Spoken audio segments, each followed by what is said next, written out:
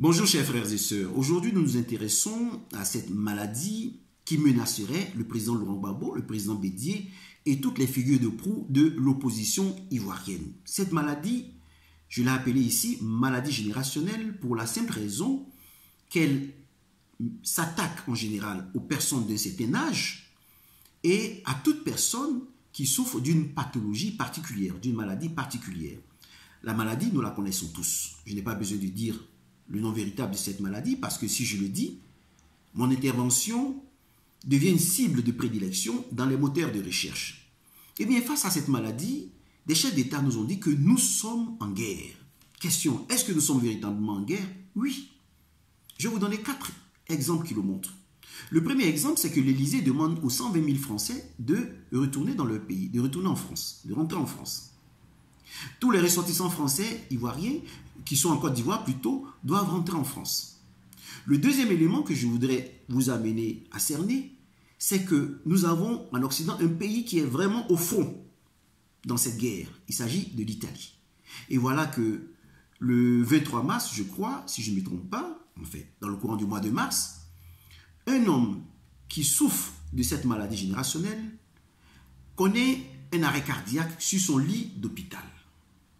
En général, quand quelqu'un connaît un arrêt cardiaque, on le prend, on l'envoie aux urgences. Eh bien, c'est pas ce qui s'est passé. La personne est sur son lit d'hôpital, on envoie un dispositif qui va utiliser la méthode de la circulation extracorporelle. Cela signifie quoi? Le système est posé là, le dispositif est là, on se fait sortir le sang du corps du malade, on le fait passer dans le dispositif et dans le dispositif, nous avons un système qui maintient le sang à une température compatible avec le corps, avec le métabolisme basal du corps. Et qu'est-ce qui se passe? Ce sang est oxygéné par un oxygénateur qui sert de poumon. Et une fois que ce sang passe dans ce dispositif, il retourne au corps à travers l'artère aorte où on introduit une canule. Donc cette canule ce tuyau permet au sang de revenir au corps pour l'irriguer parce que le sang oxygéné. L'artère aorte, en fait, c'est l'artère où passe le sang oxygéné pour irriguer le corps. Et voilà le système, le dispositif qu'on pose à côté du malade et on, on l'opère de cette manière, à cœur ouvert, là, dans son lit d'hôpital. Eh bien, cette méthode est utilisée durant les guerres et non dans un état moderne, dans un état normal, dans une situation normale cela signifie que nous sommes véritablement en guerre. À cette intervention s'ajoutent tous les hôpitaux de fortune qui sont construits par les militaires. Voilà ce que vous devez comprendre. Nous sommes véritablement en guerre. la Chine nous montre que nous sommes en guerre, mais la Chine a transformé cette maladie générationnelle en guerre économique en utilisant les trois éléments de base du marketing, à savoir l'acquisition, le comportement et la conversion. L'acquisition, c'est quoi?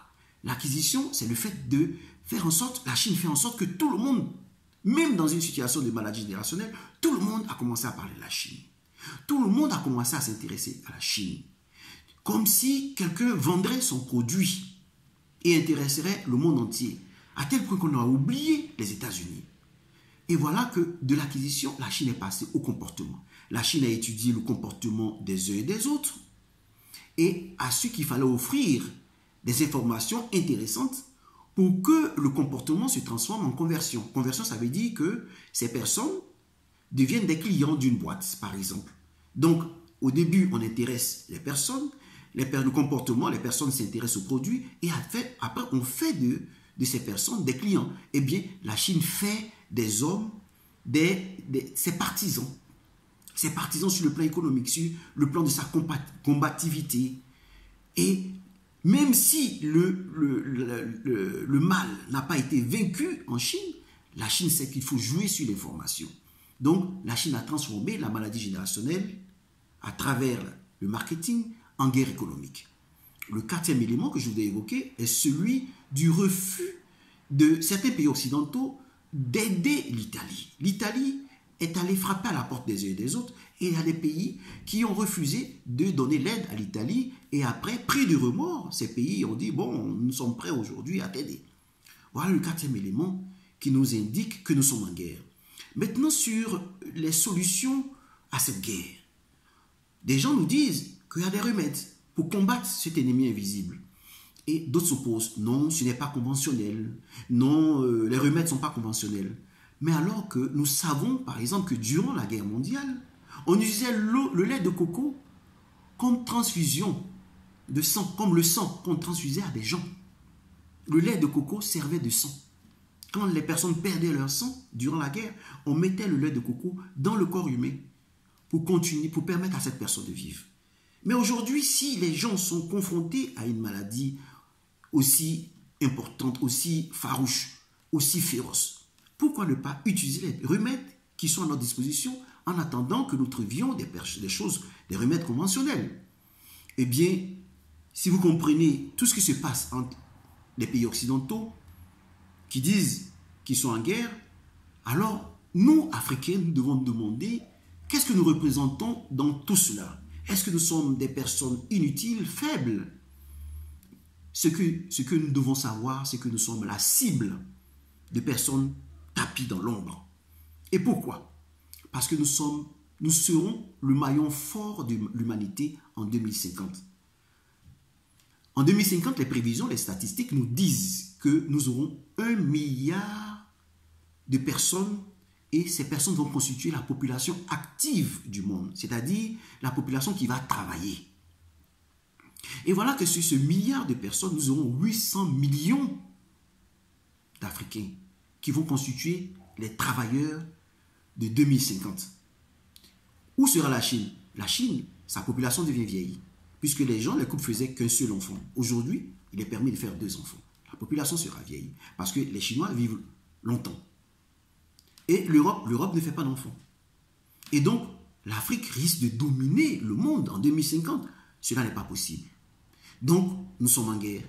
Parce que dans les relations internationales, eh bien, on ne fait pas de cadeau à l'autre. On ne dit pas, moi, j'ai dominé le monde pendant 50 ans, bien pendant 100 ans, et je vais passer l'hégémonie de ce monde. Je vais laisser cette hégémonie à un autre nom. Depuis l'Antiquité, depuis les temps anciens, quand un peuple commence à se développer, l'autre l'attaque pour le réduire à zéro. Voilà comment ça se passe. Alors, dès cet instant, nous devons comprendre, nous, Africains, que nous sommes dans le collimateur de personnes qui tirent les ficelles dans l'ombre. Et pour comprendre comment réagir, nous devons observer nos dirigeants, nos régimes qui se reconnaissent qu'ils sont à la solde de ces Occidentaux qui nous gouvernent, qui disent déjà, qui se plaignent de, la l'explosion démographique africaine. Qu'est-ce que nous constatons au niveau de nos, du régime d'Abidjan particulièrement? Avant cette maladie générationnelle, ce régime d'Abidjan a fait partir en Europe parce que tous leurs enfants, les barons ont fait partie de tous leurs enfants en se disant attention, octobre 2020, il risque d'avoir éclaté une guerre civile en Côte d'Ivoire à cause des élections présidentielles. Donc mettons nos enfants à l'abri. Les passeports, il y avait une explosion au niveau des passeports. Les gens se plaignaient, on faisait des, des files d'attente aussi longues. Des, des gens attendaient vraiment leur passeport. Aujourd'hui, que constatons-nous? On constate un retour massif de ces personnes en Côte d'Ivoire. Mais on se dit, mais ok, aujourd'hui le danger est en Europe. Vous faites retourner vos enfants, vos proches. Mais prenez au moins le temps de les mettre en quarantaine pour les observer. Deux semaines, ce n'est pas la fin du monde. Ce n'est pas une éternité.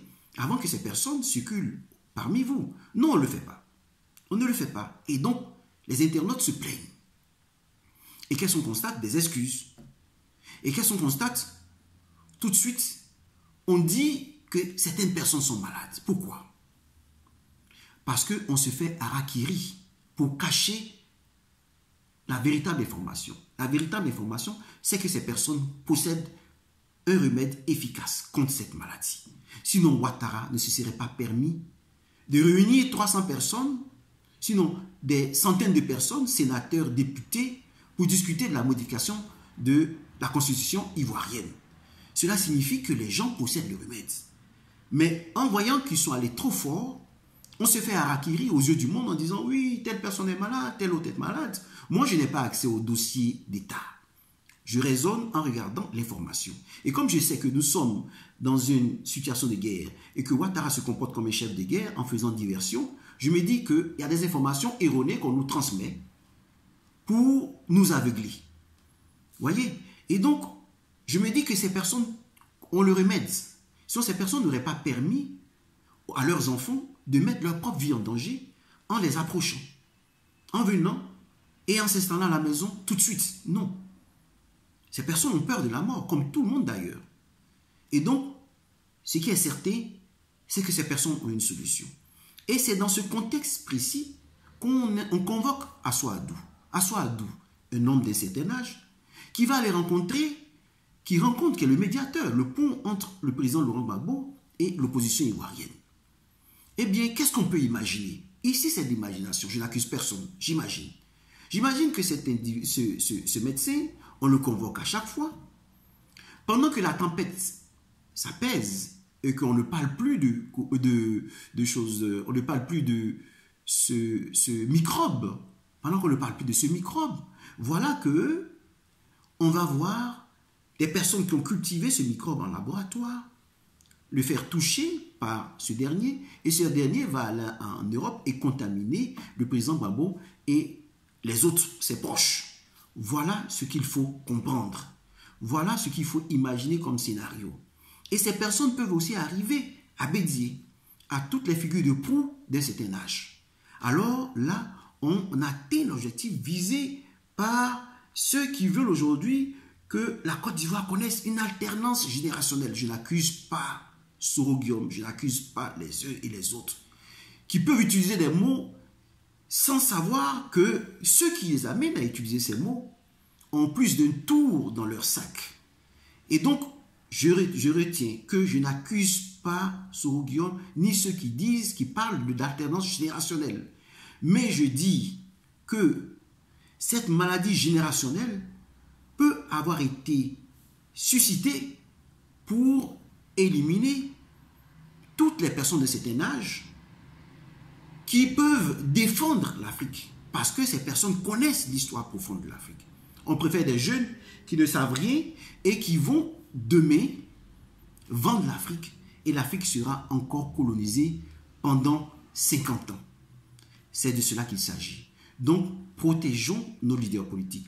Protégeons le président Laurent Gbagbo, protégeons euh, le président Bidier, protégeons toute notre bibliothèque, parce que ces anciens constituent notre bibliothèque. Sans eux, nous ne pourrons pas sortir du système de la France-Afrique. Les jeunes seuls ne peuvent pas. Il ne faut pas faire comme ces jeunes qui disaient être plus, plus sages que les sages et qui ont tué un animal et qui l'ont pris, qui ont pris la peau de l'animal comme vêtement. Et la peau de l'animal s'est séchée et était collée à la peau du souverain qui ne savait pas comment se débarrasser de son vêtement. Et il a fallu trouver des sages qui lui ont dit, plonge-toi dans l'eau. Et cela suffit pour que la peau de l'animal se ramollisse et que tu puisses retirer le vêtement de peau. Donc, il faut que nous comprenions que nous sommes en danger, pas parce que nous représentons le maillon faible de l'humanité, mais nous représentons plutôt le maillon fort de l'humanité. Merci.